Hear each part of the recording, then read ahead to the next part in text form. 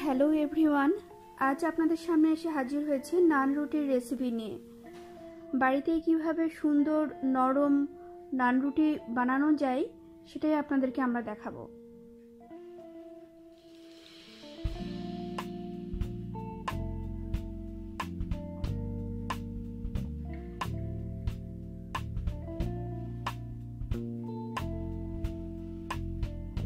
নান রুটি বানানোর জন্য আমরা চার কাপ ময়দা নিয়ে নিচ্ছি।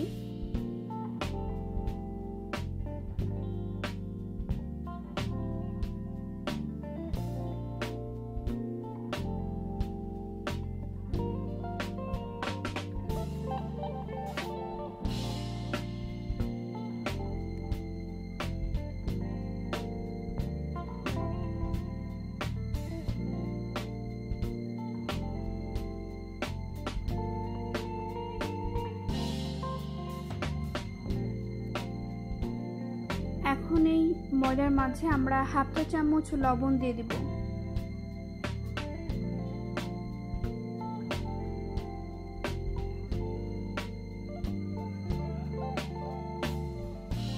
লবণ দিয়ে ময়দাটা খুব সুন্দর করে মিশিয়ে নিব পুরো ময়দার সাথে। আর এখন দিয়ে দিচ্ছি চা চামচে দুই চামচ চিনি। আপনি যদি আর একটু মিষ্টি মিষ্টি খেতে পছন্দ করেন, সেক্ষেত্রে আরও এক চামচ চিনি অ্যাড করতে পারেন। তো এখন চিনি এবং লবণটা খুব সুন্দর করে ময়দার সঙ্গে মিশিয়ে নিতে হবে।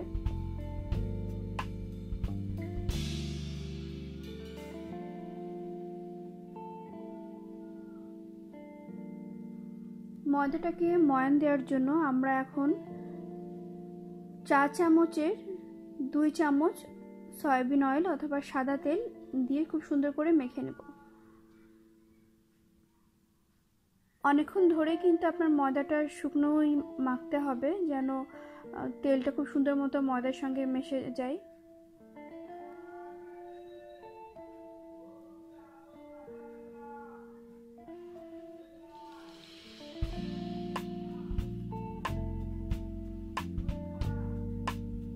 এখন দিয়ে দিচ্ছি ইস্ট। বাজারে যেই ভালো মানের ইস্টটা কিনতে পাওয়া যায়, সেটাই আপনারা কিনবেন। আমরা এ পর্যায়ে তিন চা চামচ ইস্ট দিয়ে দিচ্ছি। তিন চামচের একটু কম আছে, আপনার আড়াই চামচের চাইতে একটু বেশি। ইস্ট দিয়ে দেব, আর আমরা একটি কাপে উষ্ণ গরম জলের মধ্যে পাউডার দুধ আমরা মিশিয়ে রেখেছিলাম। সাথে হাফ চামচের ঘি ছিল। দুটো আমরা দিয়ে দিলাম ময়দার মধ্যে।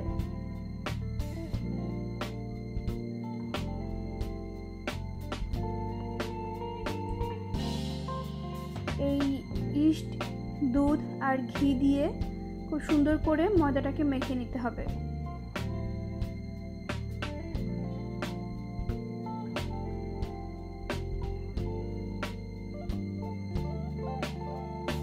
একটু একটু করে জল দিবেন আর ডোটা মাখবেন।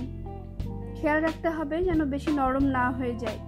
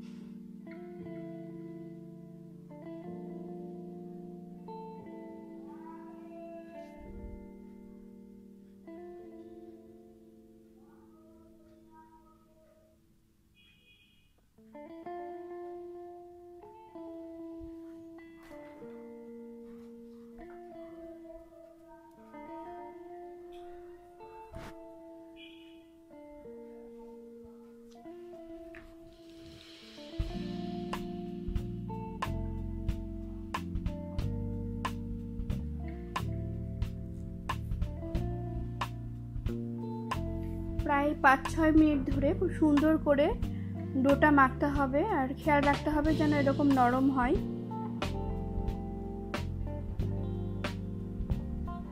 অনেকের এই ইস্টের গন্ধটা ভালো লাগে না সেই কারণেই এই ঘিটা দেয়া। আপনি চাইলে ঘিটা নাও দিতে পারেন বাট ঘিটা দিলে ইস্টের গন্ধ যারা সহ্য করতে পারে না, তাদের জন্য ভালো লাগবে। এখন আমরা যেটা করব এই ডোটাকে আমরা প্রায় এক ঘণ্টার জন্য উষ্ণ গরম স্থানে ঢাকনা দিয়ে ঢেকে রাখব। বাট তার আগে পুরো পাত্রে আমরা একটু তেল মিশিয়ে নিচ্ছি, কারণ ইস্ট দেওয়ার কারণে এই ডোটা কিন্তু ফুলে দ্বিগুণ হয়ে যাবে। ডোয়ের গায়েও একটু আমরা তেল দিয়ে নিব, যাতে এটা ড্রাই হয়ে না যায়।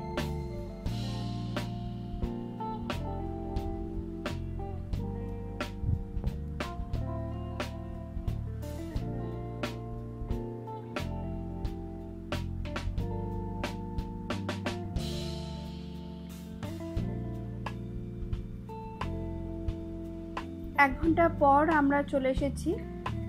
আবারও খুব সুন্দর করে এক ঘণ্টা পর ময়দাটাকে মাখিয়ে নিয়ে, ডোটাকে মেখে নিয়ে আমরা লেচি করে নিয়েছি বড় করে।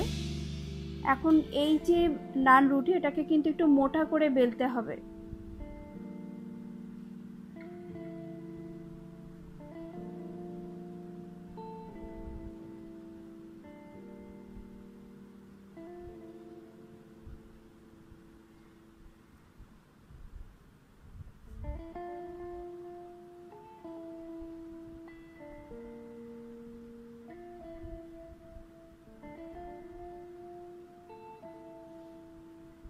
তো রুটিটা একটু ঘুরিয়ে ঘুরিয়ে ভেজে নেবেন যেন চারপাশ খুব ভালো মতন শেখা হয়।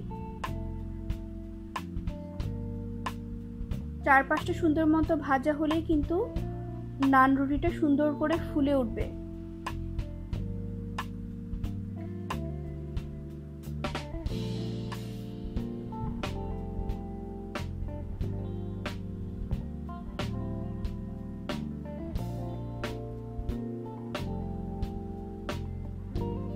একটু সময় নিয়ে লো হিটে কিন্তু রুটিটা ভাজতে হবে।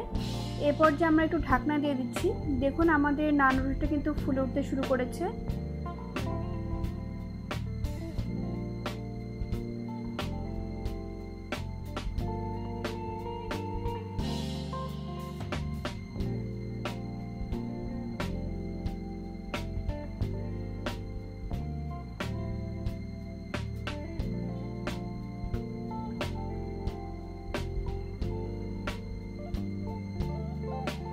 এভাবে আমরা বাকি লেচিগুলো ভেজে নিয়েছিলাম। তো আমাদের নান রুটি ভাজা হয়ে গেছে। রুটিগুলো কিন্তু খুব সুন্দর সফট হয়েছে। তো আপনারাও এভাবে বাসায় বানিয়ে দেখুন।